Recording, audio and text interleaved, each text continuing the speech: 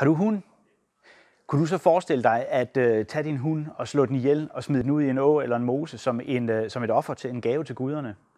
Det kunne man ikke forestille sig, at man gjorde i dag, men det er ikke desto mindre det, man gjorde i jernalderen, hvor man uh, tog sin hunde sammen med køer, sammen med får, og slog dem ihjel og lagde dem ud i øh, vådområder som en gave til guderne. Det kunne være for at øh, sikre sig afgrøderne på marken, det kunne være for at sikre sig bedre vejr, det kunne være for at sikre sig børnenes øh, velfærd. Vi ved det ikke, vi kan bare se, at det er en del af sådan et samlet offerritual, at de har indgået i en samlet offerpakke.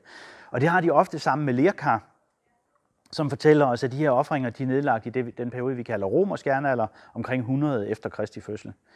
Knoglerne her, eller knoglen her, stammer fra en øh, stor hund, der er fundet i øh, Lindved Å ude ved Højby, syd for Odense, i øvrigt sammen med en anden hund og øh, knogler af andre dyr og lærkarskov.